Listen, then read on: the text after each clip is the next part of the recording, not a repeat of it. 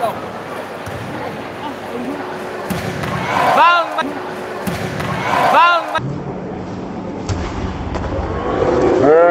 Như vậy là trận đấu của chúng ta đã bắt đầu điểm số đầu tiên là một pha phối hợp đánh nhanh ở vị trí số 3 của vận động viên mang áo số 16 rất đẹp mắt. 1-0 cho cấp 3